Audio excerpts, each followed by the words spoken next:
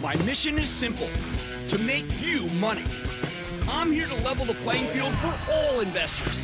There's always a bull market somewhere, and I promise to help you find it. Mad Money starts now. Hey, I'm Cramer. Welcome to Mad Money. Welcome to Cramerica. Other people want to make friends? I'm just trying to make some money. My job's not just to entertain, but to educate, put it in context, teach. Call me, 1 800 743 CNBC, or tweet me at Jim Cramer. Let's talk about pain. The House of Pain. Raw, nasty pain. Not the kind that stops with icy hot aspirin cream or even a morphine trip. That's just physical pain. I am talking about the kind of agony you don't get over. The pain of getting things wrong in the stock market. This is something that happens every day, including this one. Dow flat, S&P dropped 0.272%, Nasdaq nosedive 1.71%. But you don't care when it happens to the other guy. You only care when it happens to you. And I don't blame you. Today we convened our first CNBC Investing Club meeting. Oh my God, it was so much fun. Where I pretty much bear it all. And I got to speak to a special woman who happens to live in my daughter's old stomping grounds of Talland, Oregon. She asked me about the stock of Boeing. Now, have you ever noticed how nobody's ever stumped on TV? They've already got some glib answer. And, and you know what? I'm the last person to criticize. I've been running a lightning round for 16 straight years. That's kind of the essence of off the cuff. But this one hit me hard. It had me struggle. It, it kind of had me blinded because the charitable trust has been pummeled by Boeing of late. Although we have a good cost basis on the stock, I am totally beaten down by this one. Really, exhausted. This morning, I had to hear about how American Airlines would have to cut its flight schedules because it didn't get the Dreamliners it needs from Boeing. Why? Well, of course, it's the FAA, right? They see some problems with the planes. Problems, by the way, that management assured me would have been fixed more than six months ago. Given that this thing is delayed until late in the second quarter, we'll only be seeing these planes one full year after my sources told me not to worry about it. But my sources, they were good. They were. I mean, they said the problem would be fixed pronto. Meanwhile, China's recertifying the 737 MAX, the troubled airplane that was to blame for two accidents that killed hundreds of people. But this thing still hasn't been greenlit. And there are no new orders from Boeing's biggest customer yet. Given the political tensions, maybe there won't be. So, what do you do in this situation? Now, part of me just wanted to tell Jolene that she shouldn't worry about it. The stock will be fine, right? I mean, always hear that, right? I'll be fine. But st- stand back. Part of me wanted to say the whole thing's unfair. I mean, what does the FAA want? David Calhoun's head on the silver platter? If you gave him the CEO's head, would it make a difference? Oh, the gears were whirring in my head, especially steam wasn't coming out of my ears. I was just on the verge of saying, you know what? Enough already. Let me out of the house of pain. But then I recalled that just this morning, I had read a story and then saw the CEO, CVS, the drugstore chain, boosting its buyback, raising its forecast, setting the stock up almost 5% in a day. Now, what does CVS have to do with Boeing? Well, CVS is now up nearly 30 bucks from where it was trading when the charitable trust bailed on it. We battled this one for ages. We were glad to sell it at a slight profit. When, if we had just been able to handle the pain of a story that we knew well, we could have crushed it. We always dreamed CVS would announce a buyback, but they couldn't because the balance sheet was so stretched from the, uh, from the acquisition. Well, it turns out we just, just had to be more patient to announce the $10 billion one. We never dipped our feet into the promised land because we couldn't take the pain. It was just too much for me. Oh, and then I thought of Viacom. I mean, This is all happening when you're doing this thing. It's like, foo, foo, foo, thought of Viacom. Now, that's a stock that got cut in half on our watch.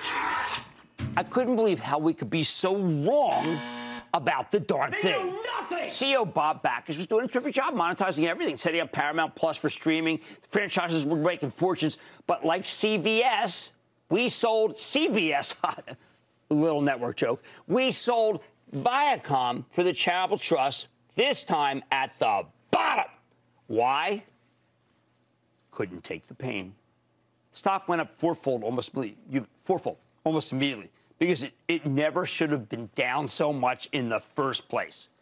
I hate putting on anything on CBS ever since that, but uh, sometimes Eagles play on it. So, what I told Jolene in Oregon is that sometimes you just have to take the pain. Yeah, sometimes. Sometimes there's no choice. If you sell Boeing stock here, I think you will be kicking yourself, but I don't know when. I can't tell. Just like those of us who were foolish enough to sell CVS or Viacom because we couldn't see when the turn would happen. We couldn't tell. But let's step back for a second, though. I'm not a dig in the heels guy. I'm a discretion is the better part of valor person. So why have such angst about Boeing? Because while the short term is absolutely horrible, and I can't take being kidded about it anywhere, I think the long term is ridiculously bullish. That said, unlike so many other commentators, I freely admit that I've been very wrong. But you take the pain when you've got a real thesis, my thesis here is real simple. First, most people on Earth have never set foot on an airplane. Now, that's a staggering fact, isn't it? We think of air travel as fairly commonplace, but most people in the world aren't wealthy enough to enjoy it. The thing is, that's changing. Just take China. In the last few decades, China's lifted 800 million people into the middle class, and they now view air travel as almost a rite of passage. Rite of passage for the non French out there. Regular viewers know that I have huge problems with the Chinese government, but not with the people. Uh, I, I, just like my, my view is no different, though, it turns out, than the current president or the last president. But you have to believe the Chinese will buy more planes from Boeing because they can't do without them. Which brings me to the second reason to own Boeing. There are only two companies on Earth that can make large commercial aircraft at scale. One of them is Airbus. Airbus is sold out. Boeing may have awful execution right now, but it's still part of a beautiful duopoly where they can charge an arm and a leg for the planes because they, uh, they only have one competitor. Third, as Gary Kelly, the outstanding outgoing CEO of Southwest Air, told me this morning when I interviewed him, airlines that want to shrink their carbon footprint need to retire their older, less fuel efficient planes that also happen to be, by the way, noisier. And that means they need to replace them with new ones. You can't just keep using the same old aircraft, they do get used up. Now that big business is taking climate change much more seriously, almost every airline in the world has a fleet that's too old. They need Boeing. Finally, if you believe, as I do, that the pandemic's finally running its course, that the Omicron strain will be dealt with, then you have to expect a huge travel boom next year. You, you, there's no way you can.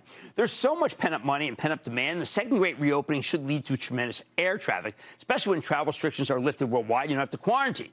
Now, I know there are a million opinions floating around about how contagious Omicron is, very, and how deadly it is, not as deadly as Delta, and whether the booster shots work or not. But I need you to get start getting your arms around the concept of acceptable risk. Acceptable risk. That's what I'm looking for. We aren't just going to do nothing as we wait for COVID to get stamped out. You got two kinds of people when it comes to vaccinations. You either get all three shots, right? In which case you're basically fine, or you don't care whether you get sick in the first place. Either way, I think a surge in air travel will be the biggest change in this new hybrid work world.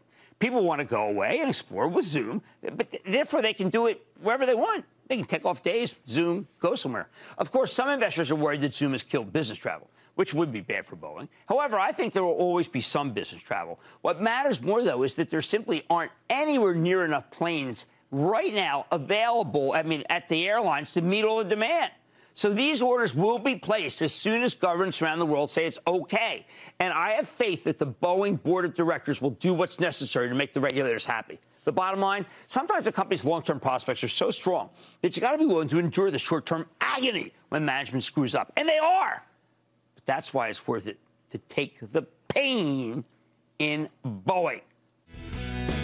Don't miss a second of Mad Money. Follow at Jim Cramer on Twitter. Have a question? Tweet Cramer. Hashtag mad tweets.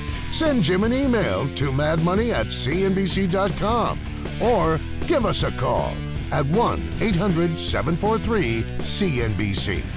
Miss something? Head to madmoney.cnbc.com.